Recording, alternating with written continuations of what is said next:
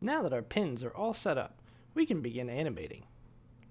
Let's click on frame 30, right click, and go to Insert Keyframe.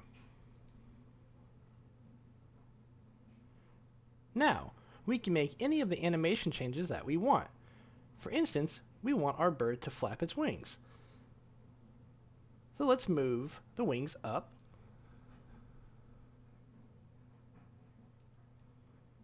There.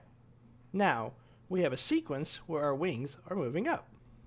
However, it's not very quick. It's not very good. We need it to kind of flow between the two keyframes. The way we can do that is to right click and go to Create Classic Tween.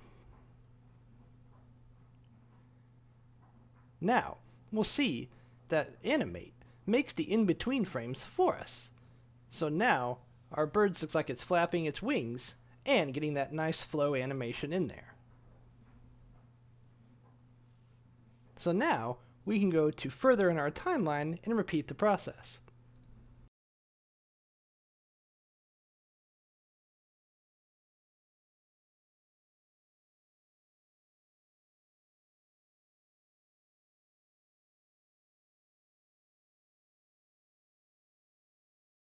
Now we have a nice animation of the bird starting to flap his wings.